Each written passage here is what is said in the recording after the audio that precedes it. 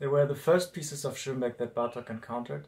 Stravinsky supposedly studied them while composing The Rite of Spring. Kandinsky heard them in a concert and was inspired to make his painting Impression 3.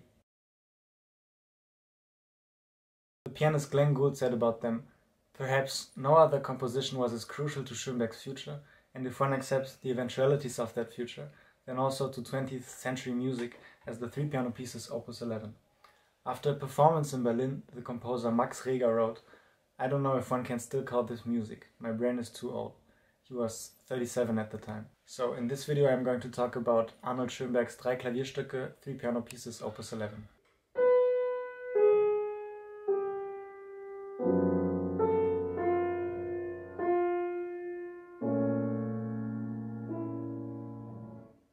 Chose these pieces because I find them extremely expressive and intense, and because they have this strange quality to them which is created through the coexisting of very familiar traditional musical elements on the one hand and very modern and new elements on the other hand. And also they were one of the first more modern pieces of music that I discovered and played. And my interest for new music basically began with Schoenberg and maybe it will be the same for you. First of all, let's understand how Schoenberg came about writing these exciting pieces. The Austrian, mostly self-taught composer Arnold Schoenberg was born in the late 19th century. He was very influenced by all the traditional Germanic composers like Bach, Mozart, Beethoven, Brahms, Wagner, Mahler and so on, and learned most of his compositional technique by studying their scores. Schoenberg wanted to continue this Germanic musical tradition and saw his work as a logical continuation of that heritage. His compositional career can be divided into three periods the Romantic period, in which he wrote very lyrical and passionate late Romantic music, the free atonal period, in which he wrote pieces without tonality, without a tonal center, and where traditional harmony rules don't apply anymore. And by the way, Schoenberg and his students rejected the term atonality. They thought that it was absurd since atonal means without tones, which is obviously ridiculous but it has still become an established term. And finally, the dodecaphonic period, in which Schoenberg invented and started using the 12 tone technique, which was a, a, new system he felt he needed to organize his pieces. As you would expect, Schoenberg began his musical career writing music of his time, so late Romantic music. Pieces from that early period are very much influenced by the lyrical chromaticism of Wagner and the motivic cohesion and inventiveness of Brahms, among many other things, of course and you could compare it with the music of Richard Strauss or Gustav Mahler, who were near contemporaries of him. One of the earliest pieces of that period is the string quartet in D major, which actually Brahms really liked. He even offered to help Schoenberg by giving him money so that he could go study at the conservatory in Vienna. Let's listen to one of the most beautiful examples of this period. Verklärte Nacht, Transfigured Night for string sextet. I had been a Brahmsian when I met him. His love embraced both Brahms and Wagner. And soon thereafter, I was an addict of the same color. No wonder that the music composed at that time mirrored the influence of both these masters, to which a flavor of Liszt, Bruckner, and perhaps of Hugo Wolf was added.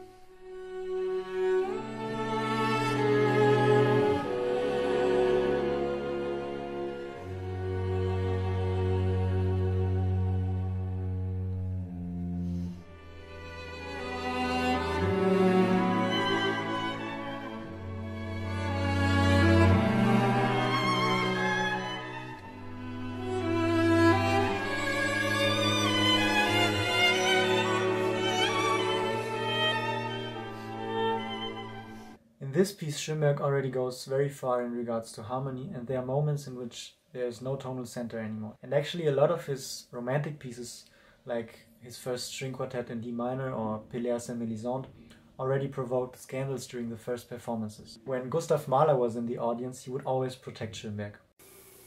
But last not least, there are already some passages of unfixed tonality which may be considered as premonitions of a future.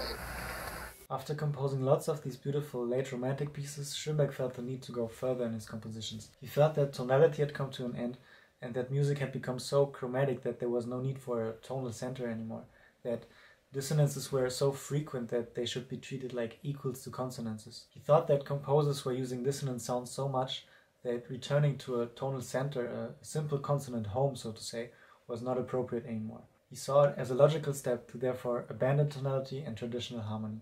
The overwhelming multitude of dissonances could not be counterbalanced any longer by occasional returns to such tonal triads as represent a key. Schoenberg went through this evolution gradually.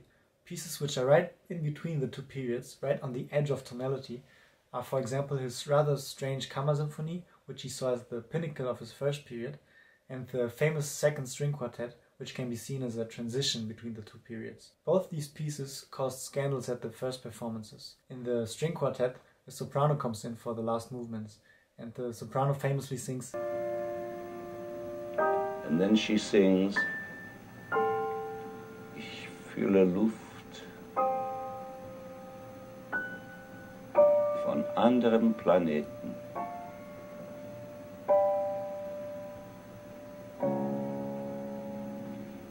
Among other things, in these pieces, the harmony is very complex and one feels that there's something new building up. I recommend to listen to those pieces. Of the second string quartet, opus 10, which is the transition to the second period, this period which renounces a tonal center, what is falsely called atonality. After a lot of thinking and trying things out, but also self-encouraging, Schoenberg finally made the decisive step into atonality.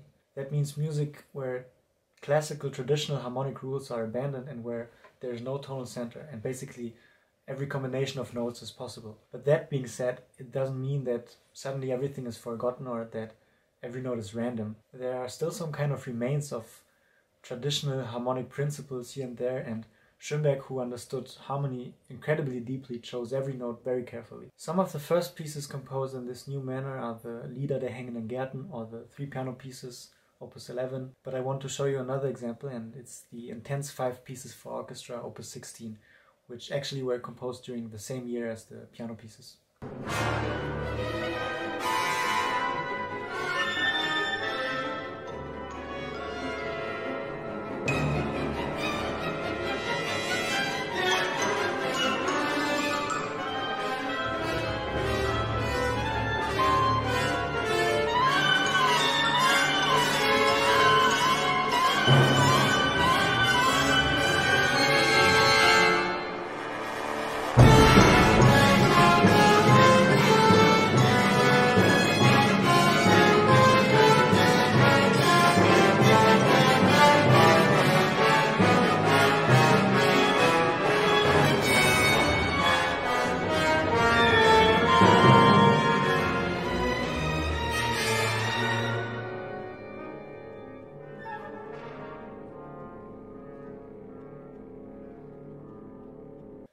Second period of Schoenberg is characterized by extreme and direct, even violent expression. Schoenberg then felt the need to have some kind of new system. Since the tonal system had been abandoned, it was rather difficult to compose larger, cohesive and organized works, because basically in tonal works you could always organize your music around harmonic regions, and you would begin with your home key and, you know, the dominant and close harmonic regions and explore more and more distant harmonic regions until you find your way back home. And in free atonal music, there was no way of doing that. There was no such system. One sign of that is that many of the free atonal pieces by Schoenberg and his pupils were vocal pieces. Since they were based on texts, it was easier to structure the pieces. But for instrumental music, it was difficult to compose larger works. So many of the early atonal works are very short pieces. Schoenberg therefore invented the 12 tone technique. This technique essentially consists of putting all the 12 chromatic pitches in a certain order this is called the row, and then basing a whole composition on this row and variations of it. This technique allowed the composer to create larger works again, and guaranteed cohesion throughout the work since everything in a 12 tone piece stems out of the initial 12 tone row. Instead of relating every configuration in a piece to a tonal center, every configuration in a 12 tone piece is related to the Grundgestalt, in that it consisted of always the same tone relation as this Grundgestalt provides. And some of his students saw this technique as somewhat the ultimate goal of the Germanic tradition of composition until then. And by that they meant that since the early Renaissance music through Bach and Beethoven, Brahms, and so on, there was always a search for cohesion of the musical material, a search for interrelation and connection um, between the musical elements. And since in a dodecaphonic piece everything stems out of one single 12 tone row, this allows the most coherence possible. The 12 tone technique should also make the pieces more comprehensible and intelligible. Schoenberg and some of his pupils often talk about this Fasslichkeit in German, which means understandability or graspability, and the cohesion which is created through the 12 tone technique should make a piece clearer and more graspable. It is in first respect a method ascertaining logical order and organization of which comprehensibility should be the main result. One example of a 12 tone piece is Schoenberg's fourth string quartet.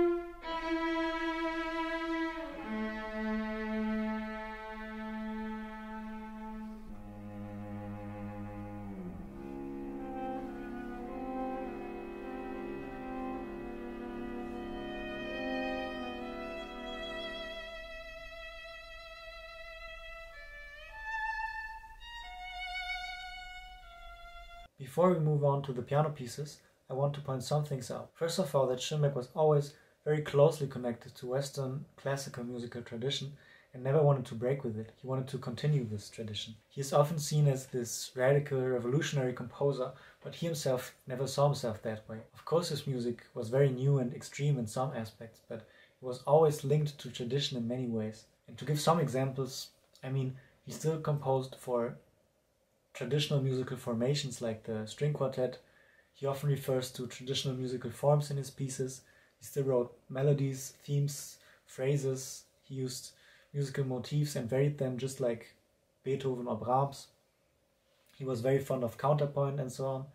There are many things like that. And he once said that he actually just tried to be a, a better Tchaikovsky. About these accusations of anarchy and revolution? While was evolution, no more exorbitant than that which always has occurred in the history of music.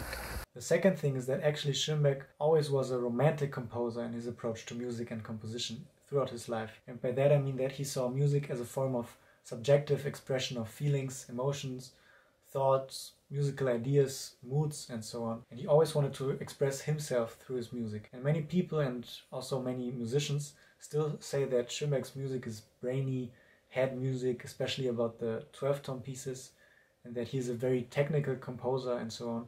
But that's actually not the case at all, or at least he's not more technical than, let's say, Beethoven. And Schoenberg never wrote music for the sake of a technique.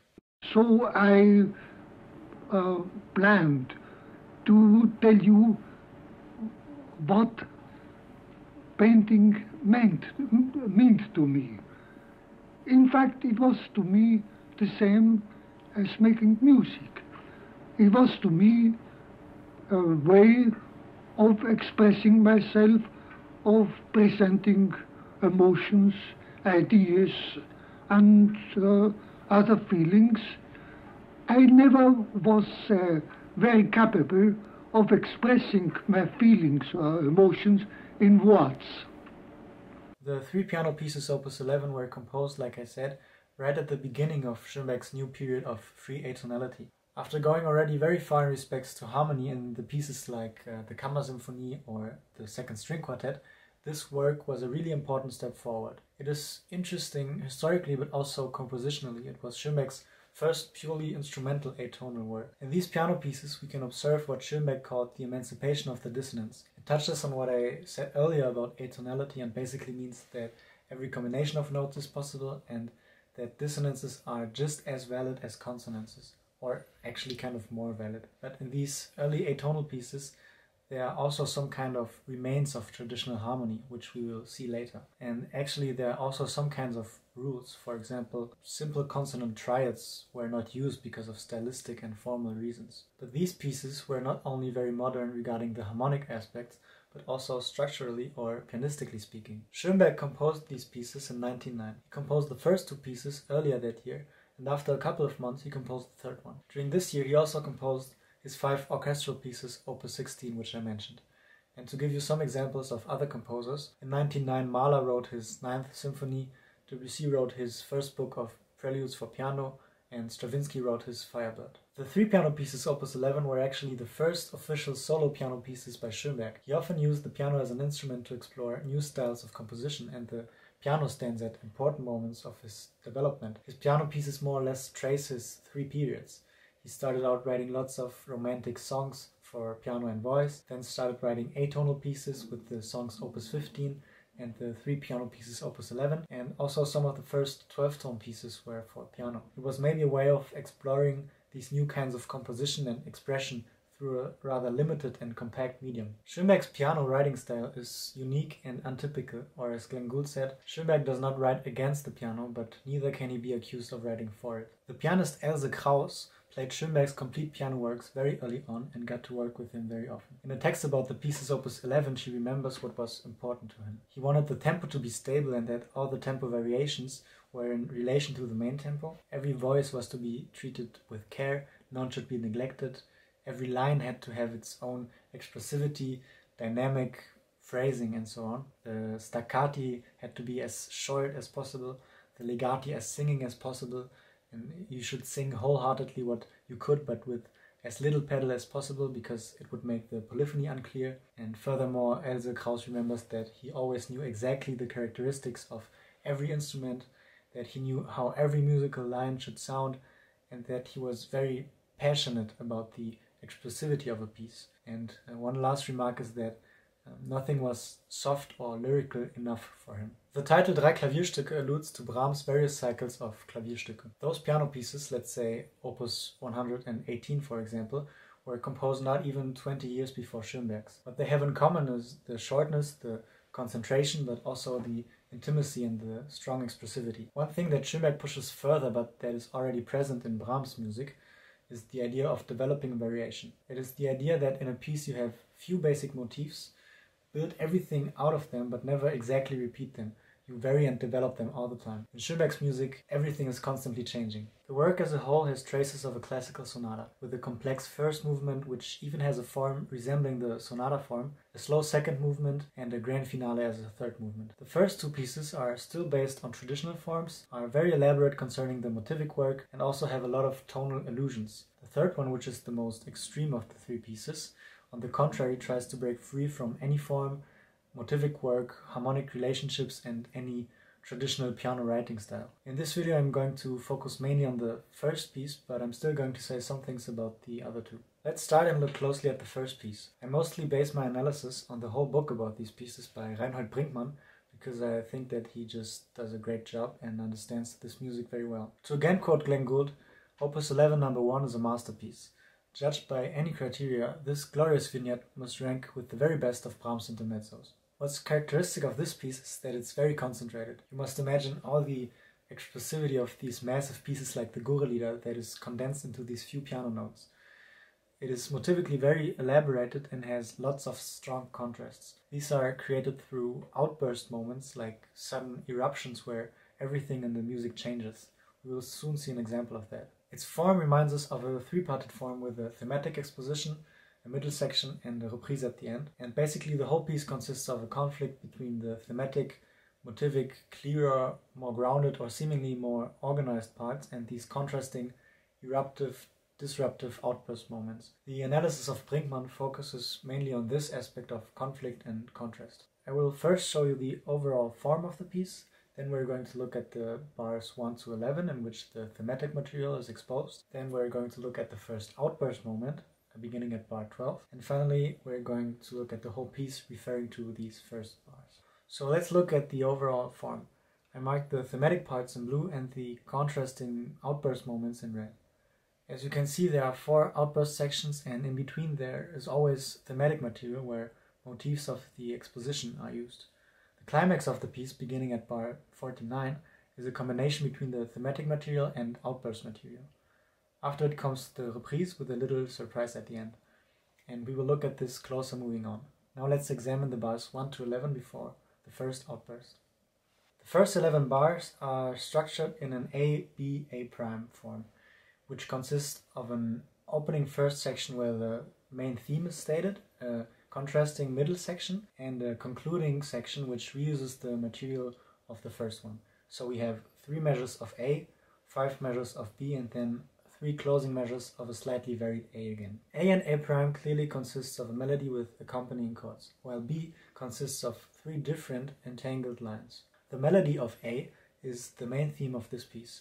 It is a very clear, descending, almost traditional opening phrase, with even a closing suspension at the end. It clearly articulates the 3-4 time signature and that the most important notes are on the heavy beats.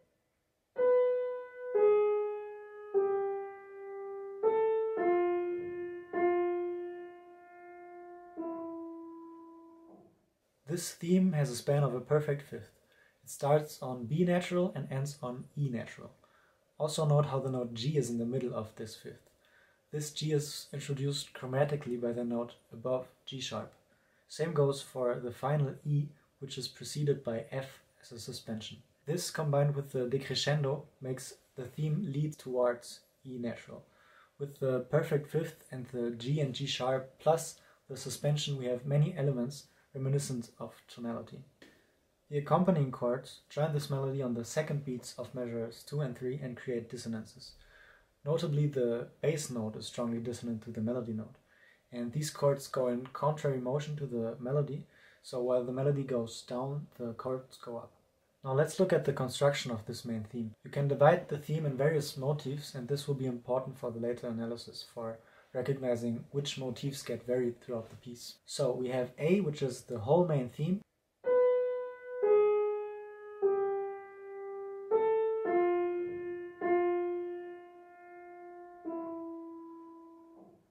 Then we have the main motif of this theme, which consists of a descending minor third and a minor second that we will call M for main motif. And this motif is immediately followed by a variation of it. And so we actually already see the principle of varying motifs right at the beginning after only three notes. And we can divide this furthermore in little one bar motif cells, which I will mark with MC for motif cells. And there we have MC1 consisting of the first two notes, MC2 consisting of the following three notes, which is in the center of the theme, and MC3 consisting of the final two notes. So we have all these different motifs plus their inversions and retrograde forms which can be taken out by themselves and used, varied and combined in many ways. We will see what Schoenberg does with them later on. So the main theme ends with this E natural, but it doesn't feel closed. It feels more like a half cadence than a perfect one. And this is due to many reasons, and you could look at harmonic details, but what's important is that it feels like an open end, which is understandable since in the three-parted form, it is the first statement and not the closing one. After this theme A comes theme or section B, which is different in many ways. It is more polyphonic, so you don't have a melody and an accompaniment anymore, but three distinct lines together. The theme B does not articulate the 3-4 time signature clearly as the theme A did. it consists mostly of ascending gestures. It is not one single phrase or line, but consists of various mini sections. And so the three different lines that I talked about create a little motif group, which is like a little unit. And this unit is then immediately repeated with variations. So B consists of three little sections or motif group units. In these three sections, there are three motifs, which we will call B1, B2, and B3. And they keep the same notes and register but are always combined differently.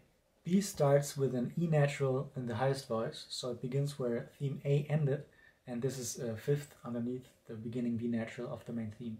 If you look at the tone disposition of A and B, you can clearly see that B is related to A. So theme B begins where theme A ended with an E natural, has G natural as its main note with a B natural underneath, just like in theme A, and ends with a B natural with which theme A began. Now let's look at the motifs of theme B. We have these two closely connected motifs B1 and B2 which get varied and stretched.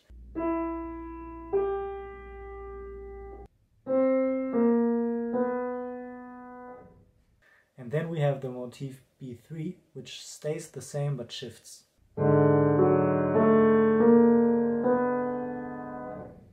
If we look at the beginning of theme B, we can see that the motif B1 consists of a rising minor third, which is the inversion of the opening interval. Furthermore, we can see that through the combination of B1 and B2, there is a variation of the main theme M that is created. Instead of a minor third and a minor second, we here have both major intervals.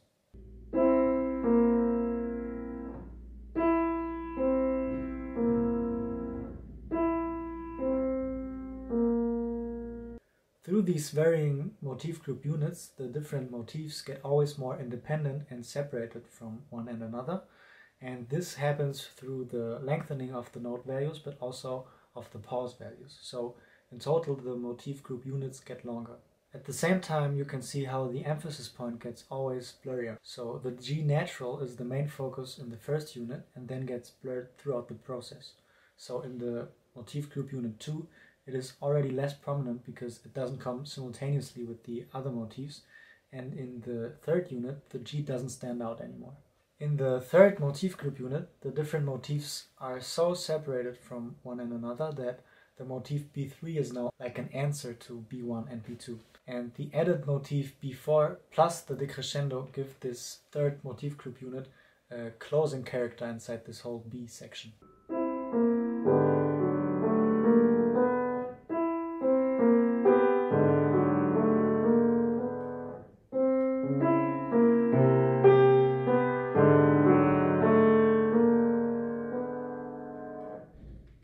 As you saw here in section B, we also have a lot of motivic material.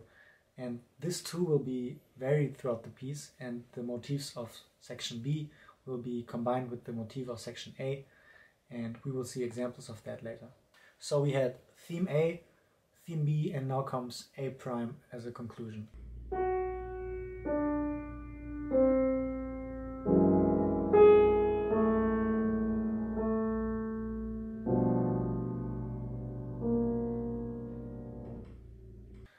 The metric ambiguity of theme B is restabilized by the returning main theme, and it is even more stable in a sense because the tempo gets slower. The theme now has varied and augmented intervals and also has a crescendo that leads towards and reinforces these larger leaps. It starts on F sharp, which is a perfect fifth above the original theme, and this is again a remain of traditional harmony. It's like a response on the dominant. The main motif M is here augmented to a major third and a major second, and actually this was somehow prepared by theme B. We also have an inversion of the last minor second that we called MC3 for motive cell 3, and this adds to the conclusive effect of this three-parted A, B, A prime form. So if the semitone downwards indicated a half cadence, now we have the perfect cadence. And interestingly, this ends with a B flat we would expect a B natural because we had this perfect fifth relationship between B natural and E natural and F sharp, and also we would return to the first note of the piece, but instead we have this B flat at the end, and we will see how we can explain this later. But so we have this A prime and now we have a closed AB A prime structure. The whole piece is constructed with these motifs that were presented in this opening section and it is meticulously motivically organized. The motifs are strongly varied and combined in very creative ways continuously throughout the whole piece.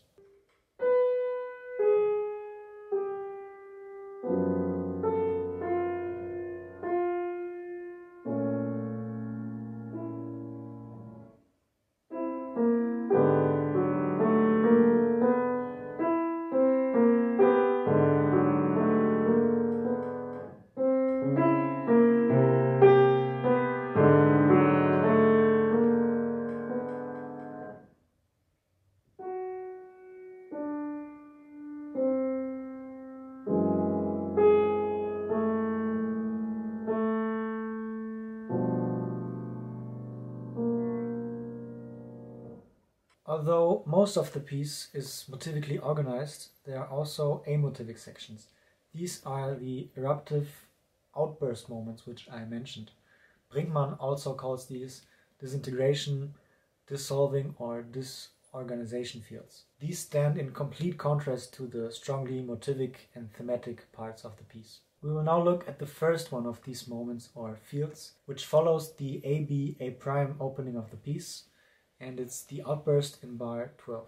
So suddenly every musical parameter changes abruptly with this fast rising figure which quickly falls back down again. Firstly, let's look at the expansion of the register. While the opening had a rather limited and fixed register, we now have a gesture that goes all over the keyboard.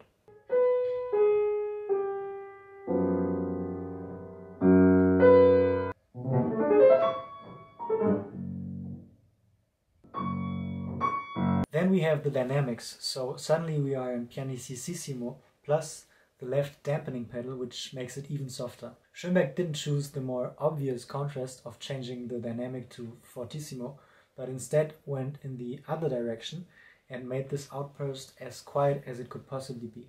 Then the tempo changes too. So Schoenberg adds the marking viel schneller, so a lot faster, and the note values also get a lot shorter. In the opening section, the shortest note value was an eighth note, and now it's a 32nd note. These two things combined make this outburst feel like a sudden acceleration. Then, of course, the metric feel is completely lost. There's absolutely no pulse anymore, and Schoenberg does that by not accentuating the heavy beats of the bar, but instead we feel different notes being accentuated at different moments, which are not at all on heavy beats but feel like one, and this creates rhythmic confusion. And already as a combination of these different musical parameters that have changed together, we have an overall new and different sound quality, a completely different texture and color as before. If we look further within this first outburst section after this sudden gesture, we can see that it stays within a larger range. It's still in pianissimo, there are still fast note values, and the rhythm is still confusing. In addition to that, Schoenberg uses a piano technique that was very unfamiliar at that time to really explore the different colors of that instrument. It's the so-called piano flageolet in which you silently press keys and play the same notes some octaves slower with short and loud attack so that the overtones of the strings of the held keys can sound.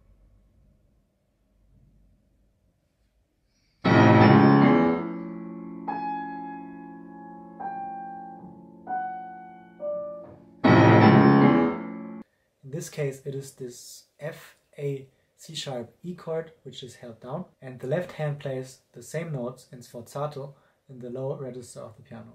The main notes of this figure, so F, C sharp, and E, can be traced back to the main motif. It is actually the main motif inverted.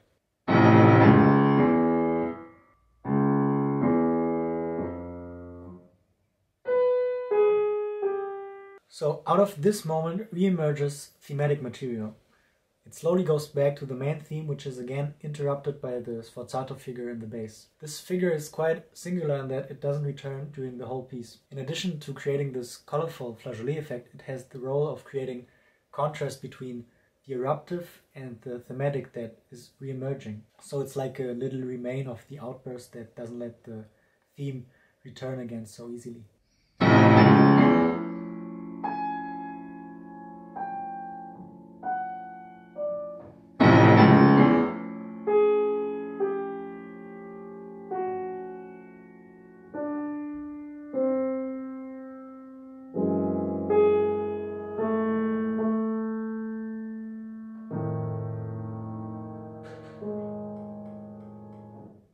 Another point of contrast between the thematic opening and this first outburst moment we can look at is the harmony. We had seen that the thematic section functions with a lot of thirds, and now in contrast to that, the outburst gesture starts with stacking of fourths.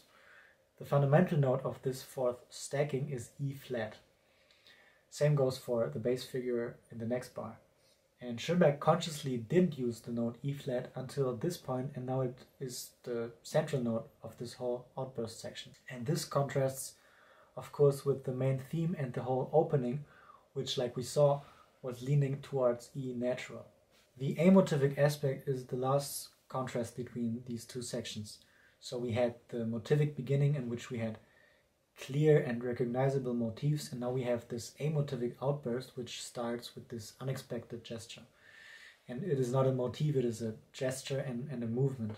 And while everything is constructed with the same few motifs in the thematic sections, the outburst fields are unbounded and function more with gesture and color. So you see that this outburst or disintegration field brings with it a sense of freedom. The music is not bound to anything, it is impulsive and full of colors and new gestures, but still we can look at ways in which this eruptive moment is prepared and constructed. It is very carefully done. So, firstly, Brinkmann says that the rhythmic ambiguity in theme B is already a kind of preparation to the outburst moment the rhythmical destabilization is announced, so to say. He also sees the stretched interval in A prime as a preparation too. It's like a distortion that announces the more important distortion that's going to come. We also saw how the opening section ends with this ascending half step A natural to B flat. This B flat is the fifth above E flat and leads to this central note of the disintegration field. And Interestingly, this fifth fall is interrupted by B natural, which would lead towards E natural. Furthermore, just as the opening section had central notes, the outburst section has its central notes too.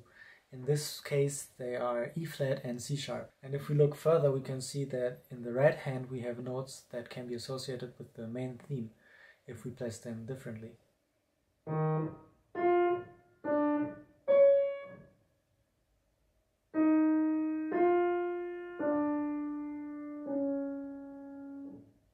Left hand we have this gesture which slowly rises and starts on E flat and then on E natural.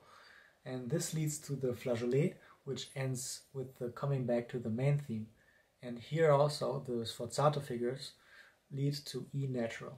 So you can clearly see how Schoenberg led us from the opening section, which had E natural as its central note, to the outburst field with E flat as its central note, back to thematic material again with E natural as its main note. And progressively we come back to the main theme in its A prime form. So this eruptive disintegration field, which when listening feels like an outburst of expressivity, something impulsive and uncontrolled or unorganized, is still part of a larger structure and is very skillfully and carefully put together by Schoenberg. And he himself said in my first works in the new style, I was particularly guided in both the details and the whole of the formal construction by very powerful expressive forces, not to mention a sense of form and logic acquired from tradition and well developed through hard work and conscientiousness.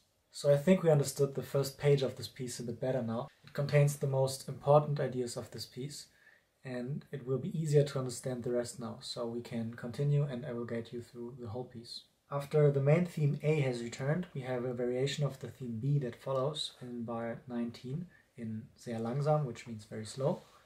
And we again have a complex of three distinct motifs that interact with each other. And again, we have two varied repetitions of a motif group unit. This time, the rhythm is more stable and the meter is clearer. The different elements are more clearly separated from each other than the first time, and the motifs B1 and B3 are easily recognizable from before, but the motif B2 is changed more heavily. As we saw in the first appearance of theme B, the third motif B3 was getting more and more separated and became like an answer to the motifs B1 and B2. In this varied form of theme B, this is immediately the case.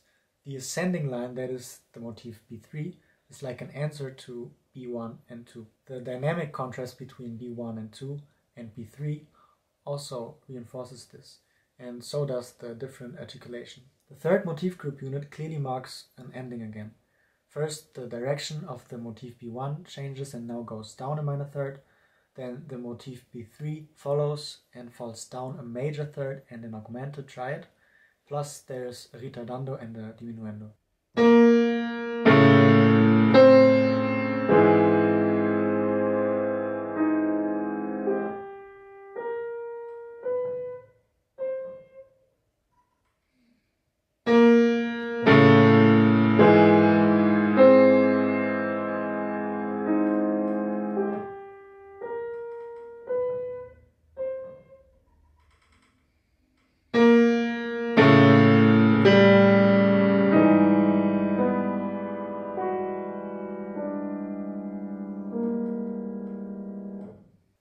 Section begins a bit faster in mäßig, which translates to moderate, and is the main tempo again. You can often recognize the different formal section of the piece by the different tempo marking. This section consists of a fugato, which is a polyphonic imitative play between different voices with one same motif.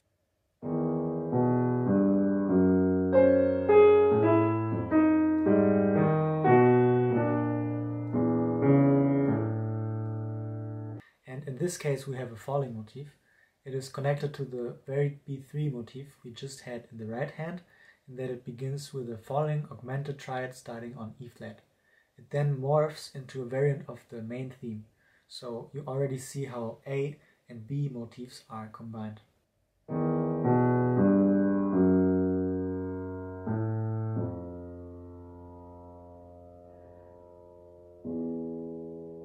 Main notes of these motifs are F sharp, E flat and B flat and so they outline an E flat minor triad.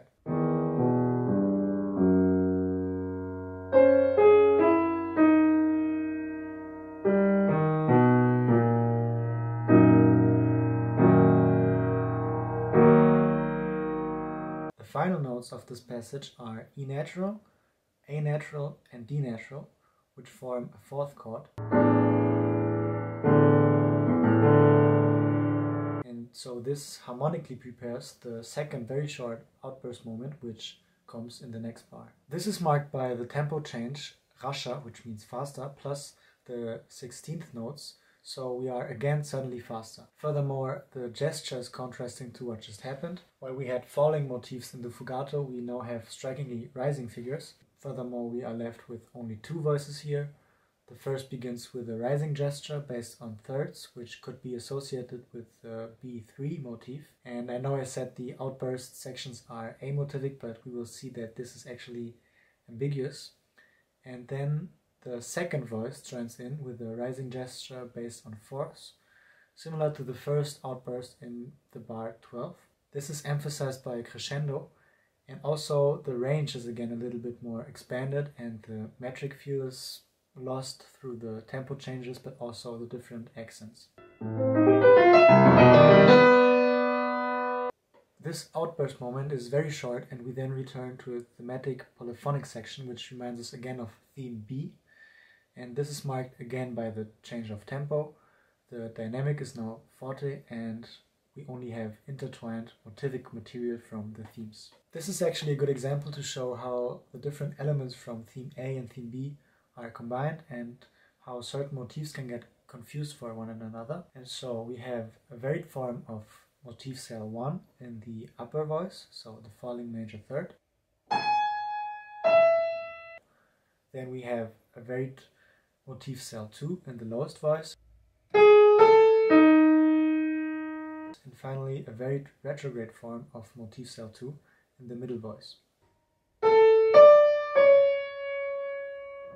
This motif group unit is then repeated twice, so it reminds us of theme B. And actually you could see some of these motifs as coming from theme B.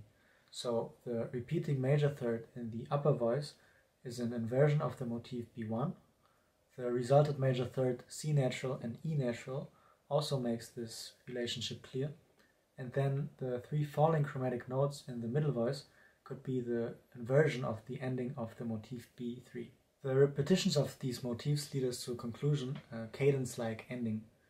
We have a decrescendo that leads us from forte to pianissimo.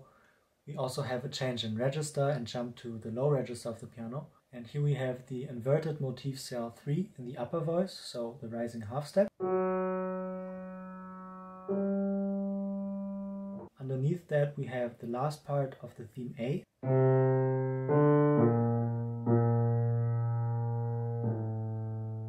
if we take the F sharp and D natural from the upper voice in the preceding bar, we even have a complete varied form of theme A. This is followed by the last part of theme A in octaves, in pianissimo and in the low register, and this clearly indicates an ending of a section.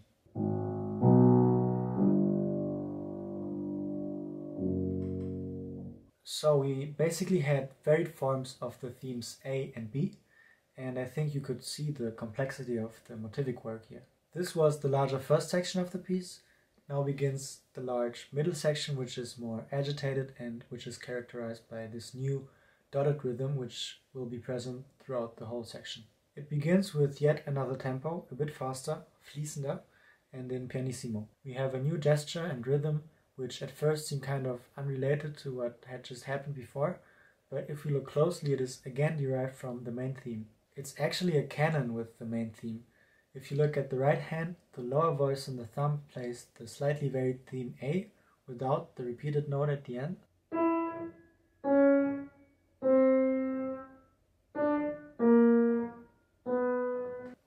The upper voices in the right hand played very shortly afterwards on parallel thirds.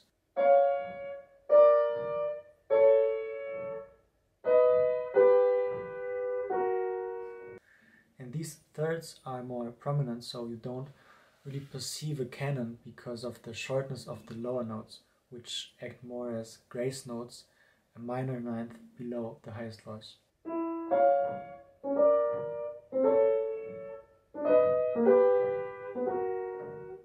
And if you put the notes of the lower voice and the parallel thirds together, you end up with the inverted motif as a chord.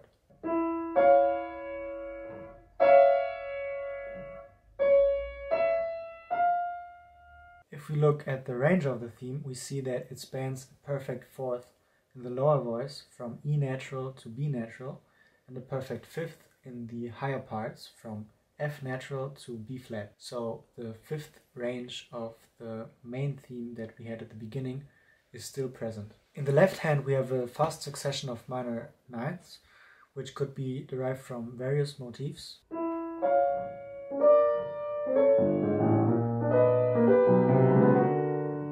This whole thing is then immediately varied, and basically we had a very varied canonic form of theme A. Now follows something that is related to theme B again. As we saw at the beginning of the piece, theme B began with the last note of theme A. This is also the case here in bar 38. The varied theme A ends with the major third G natural, B natural, and then the varied theme B begins with the same third. This varied theme B is very short and very changed, but what reminds us of theme B are the three voices. The minor ninth grace notes remain from the bars before. The middle voice is the nearest from the middle voice of the original theme B.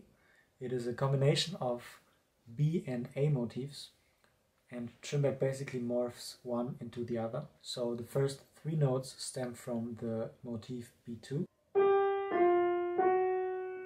the last three notes from the motif cell 2.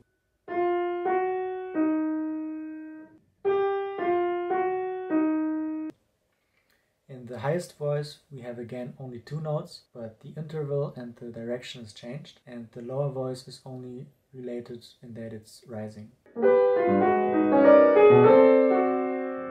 This B-related section is, as I said, very short because it's interrupted by another outburst and disintegration moment. This time it's a bit less sudden because it's introduced by a crescendo, but again everything changes and is contrasting. It begins again with this rising gesture which we remember from the first outburst moment in bar 12, and here again we came from a motivic and polyphonic texture to this outburst which is more about gesture and color. Again the register expands and we have faster note values. We even have the returning note motif before the rising figure exactly like in bar 12. And this motif also retraces the perfect fifth relationship we had before. The little motif starts on F sharp and leads to the rising gesture starting on B natural. This little motif is then augmented, which means that it is in longer note values and starts on an E natural and leads to an A natural. At this point the gesture changes and we have this very fast and disorienting moment in which the range is even more expanded to the low register. So here we have two voices, one in each hand, which basically play the same motifs in shifted contrary motion. So the right hand is descending while the left hand rises. These motifs consist again of mainly minor ninths and are similar to the lower voice we had in the bars before. What makes this so disorienting is the rhythm and the displacement between the two voices and furthermore this very fast moment is in pianissimo which creates this strange overall texture. This is followed by yet another gesture which is related to the returning note motif we just saw and the rising gesture which is more or less compacted into an arpeggiated chord.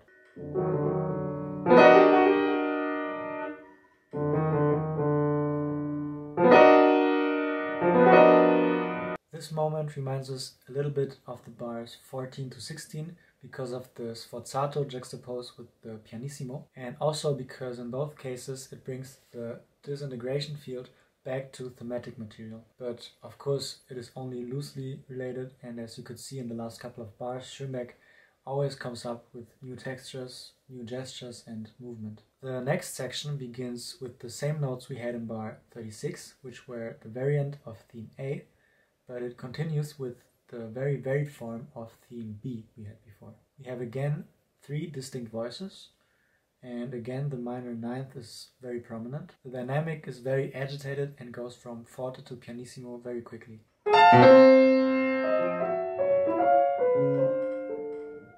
We have an overall descending gesture which leads us to bar 45 in which we are in the very low register of the piano and in pianissimo. Here we have the same gesture in the right hand that we had from bar 34 onwards. In the left hand, starting from bar 46, we have the main theme again, separated by short little rests, starting from B flat and spanning again a perfect fifth to E flat.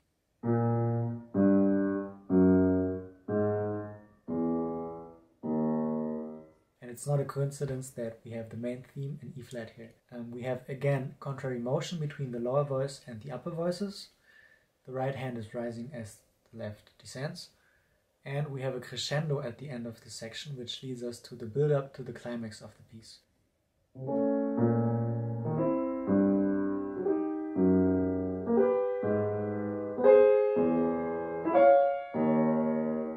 We have here again the same notes as in bar 36 and 42, which I remind you stem out of the main motif.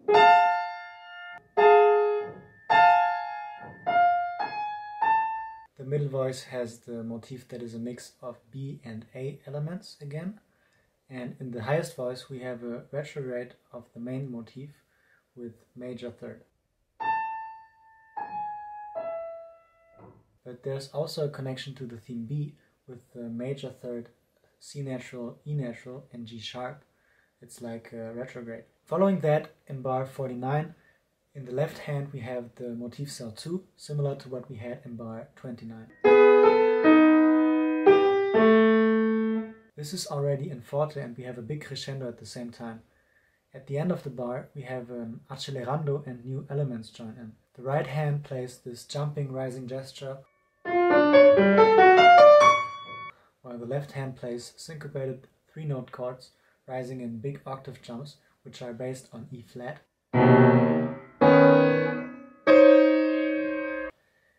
If we examine that, we can see that the right hand plays the same thing we had in bar 13, extended by two notes.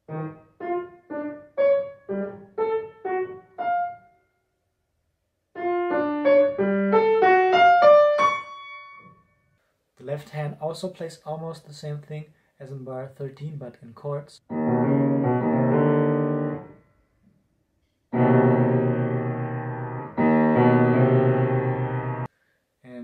Notes of the first chord put in different order also form the main motif.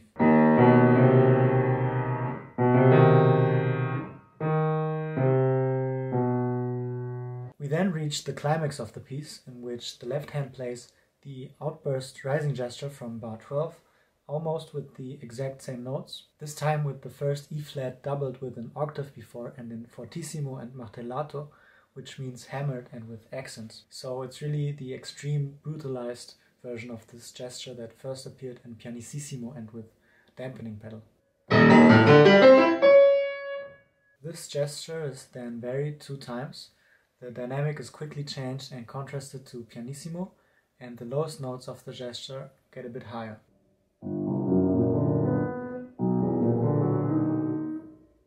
Note how the lowest notes following the E flat are G natural and B natural, so notes associated with the main theme and with the central tone E natural. So you can really find these kinds of details everywhere. While this violent gesture began with E flat and was in the foreground, it now becomes softer and gives more space to the right hand. This leads us to the right hand, which plays the varied main theme in the highest voice, starting from G sharp, mostly with thirds and the middle voices. The right hand also begins in fortissimo and quickly goes to pianissimo.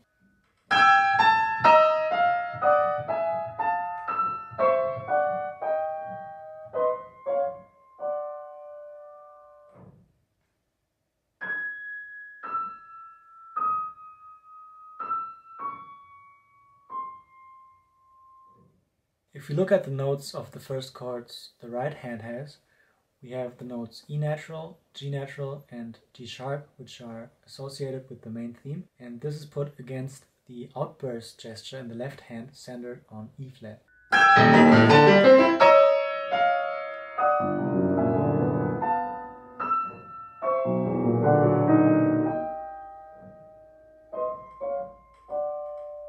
This climax is really the direct confrontation of these two fighting elements. Reinhold Brinkmann talks about this conflict between the thematic and the outburst, and that this climax is the final integration of the outburst moment. Schoenberg gives this climactic moment a lot of importance in that the essential idea of the piece, that is, the conflict or the tension between the thematic and the outburst, is in the main focus here. There is a reminiscence of the sonata form in the conflict between these two opposing poles. After this climax, we have the reprise, in which the main theme returns starting on the original note B natural for the first time since the very beginning of the piece. The theme is still varied though.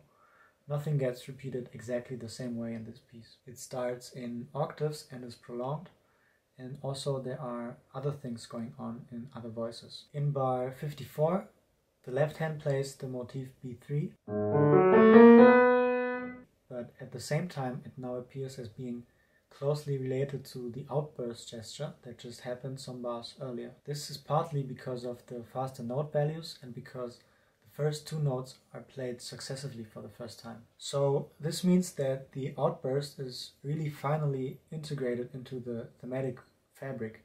It is confusable and the conflict is more or less solved, you could say. And in retrospect, you could say that the motif B3 is related to the first outburst moment in bar 12. Brinkmann talks about the sonata form being in the background of this piece and that there is an exposition of the themes which serve as material for the development, and this is evident through the simplicity of the main theme, which cries out to be varied and developed. Then there is the development, which is the core of the piece and has a, a direction, it leads towards something. And then finally, the reprise is the result of this development. It's consequence of the process. And if here the process was to carry the conflict between thematic and outburst and to integrate the outburst, then this process has reached its goal in the reprise.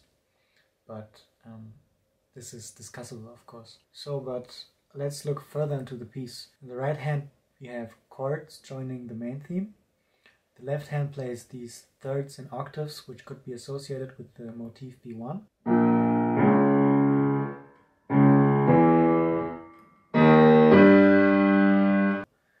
Have a crescendo and then the B2 motif joins in the middle voice with accents on every note.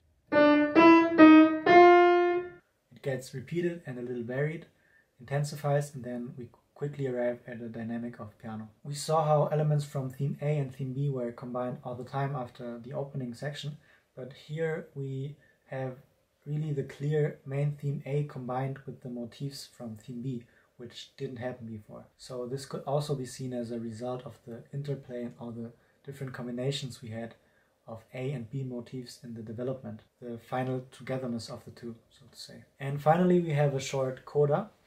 We are in the low register of the piano. In the right hand, we have a three note chord in sforzato that resembles the chords of the climax and is associated with the outburst. In between the two upper voices, the varied main theme appears in piano with diminuendo. It is then passed to a lower voice and then goes back to the highest voice. And this passing around of elements of the main theme through different voices is a typical way of ending a piece. You can find that in piano pieces by by Beethoven and so on. So the last varied A motifs are left out to a single line in pianissimo which falls down to this E natural in octaves. This single voice left alone, the very soft dynamic, the diminuendo and the falling gesture of the line creates a clear feeling of an end. And this would actually be a solid ending in that the main theme that had E natural as its central note now descends to it at the end of the piece. But Schoenberg decided to then unexpectedly descend to an E flat.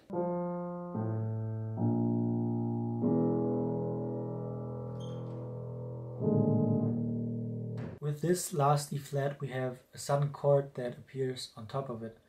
This chord consists of the fourth we had in bar 12. So the first outburst moment is really re-emerging as a surprise and makes this ending a lot more agitated. And if we look at the first outburst moment again, we can see that it's really connected to the very ending of the piece. As I said before, in bar 11 we had the A natural going to B flat, which should lead us to the outburst moment starting on E flat. This trajectory is shortly interrupted by B natural, which would lead us to E natural. So as you see, there's this harmonic play between these two poles of E natural and E flat, which kind of represent the thematically organized sections and the chaotic outburst sections, and this is present at many moments during the whole piece. And now at the end, we have something similar. Again, we have A natural, which goes to B flat, or in this case, A sharp, but then it goes to E natural before we have the sudden shift to E flat. So, this last flash of the outburst really makes us wonder if the conflict is really solved or not. It gives us a sense of instability and insecurity.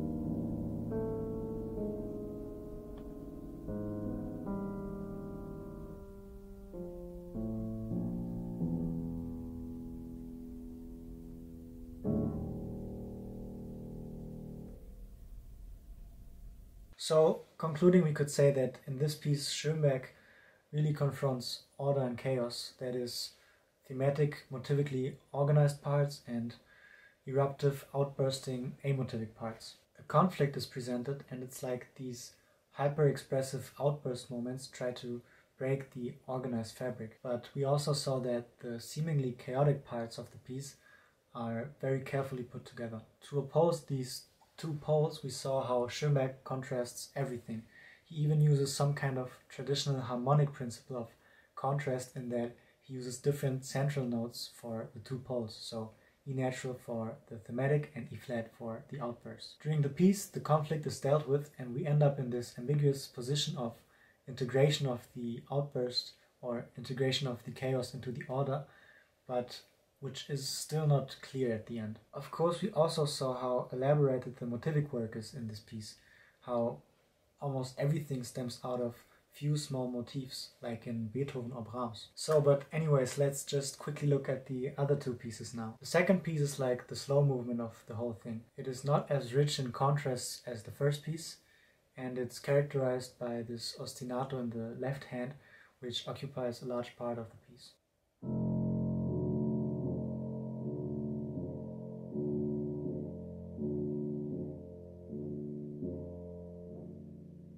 Like the first piece, it has three larger sections, which are again like a thematic exposition, a long middle section, and a sort of recapitulation. The piece has many different smaller sections, which are clearly recognizable. There are clear breaks or cadences between them. Like the first piece, it is motivically elaborated, and many of the things can be traced back to the main motifs that are presented at its beginning. What is unusual for Schoenberg is that we have some sections which are almost identically repeated during the piece. So we have constant variation of motifs, but at the same time, these variations sometimes reappear. If we look at the opening, we have again two themes, A and B. The second theme is expanded, and then we have the first theme re-emerging. So like the first piece, it's an A, B, A prime form. Then starts a long middle section, which consists of different smaller sections in which the material of the opening is strongly changed and transformed. It consists of little sections of different types. To me, it almost feels like collage of different moments. This middle section leads again to a big climax, which is using material from theme B. The music then calms down, and after everything stands still, the last section begins.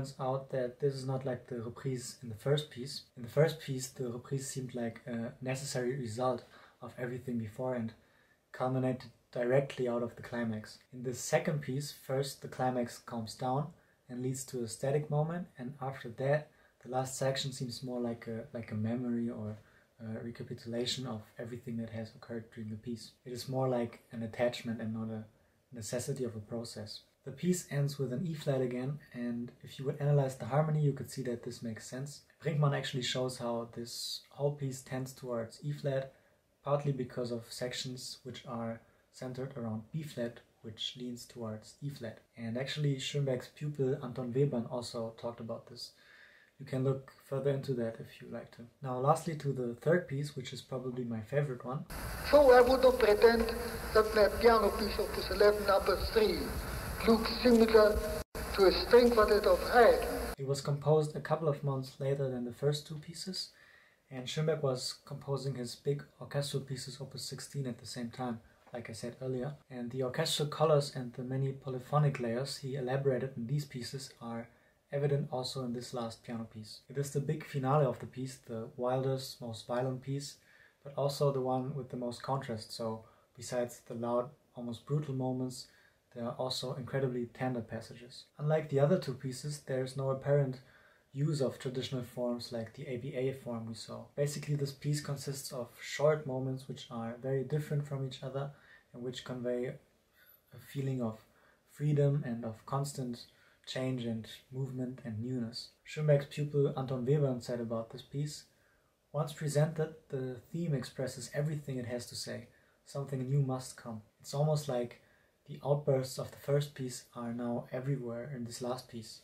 But here they aren't really outburst moments since they constitute the whole piece basically. Each moment is a very clear unit and is very distinct in its shortness, its overall construction, and its character. Among the three piano pieces, the third one is the most radical and extreme one regarding the form, but also regarding the harmony and that there are no harmonic poles, and also there are only remains of motivic connection. So it doesn't have this clear connection to tradition that we saw in the first two pieces. It actually functions mostly with gestures, dynamic, tempo, register, and color. New characters had emerged, new moods and more rapid changes of expression had been created and new types of beginning, continuing, contrasting, repeating, and ending had come into usage. Brinkmann divides the piece in these different moments or zones as he calls them. He says that you could differentiate between zones which have more of a thematic contour and zones which are more nebulous and blurry like a field of sound. But he insists on treating every moment as individual and recognizing its particularities. For example, the zone from bar 19 to 20 is a more thematically contoured one.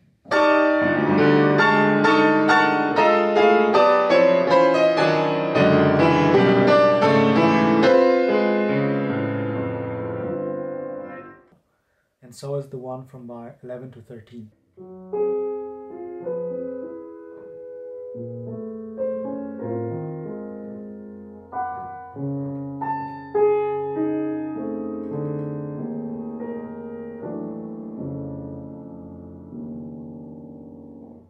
Differ in every other aspect. The first one is in fortissimo, while the second one is in piano and sehr zart, which means very tender. The first one has big compact chords and many layers, while the other one has only two simple voices and so on. In general, this piece is remarkably polyphonic. If you look at the opening, you immediately notice that there are three staffs, and in each one there's at least one voice.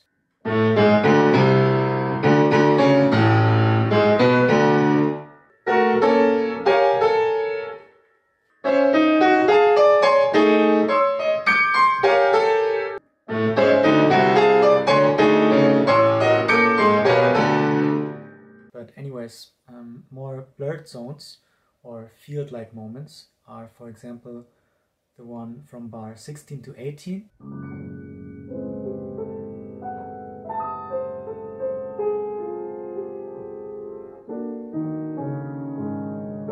We have the left pedal plus the very soft dynamic. To that we have the right pedal which is held down while we have these chords in the lowest and very highest register. So everything is blurry and we don't recognize clearly what is happening in between those chords. It is so quiet in pianissimo, I think, and there are no clear shapes. It is more like a field of sound, as Brinkmann says. After this moment comes the powerful thematic zone that we just talked about. So you see how the principle of direct contrast is really the most important thing in this piece. Schoenberg constantly juxtaposes moments which are different in almost every way.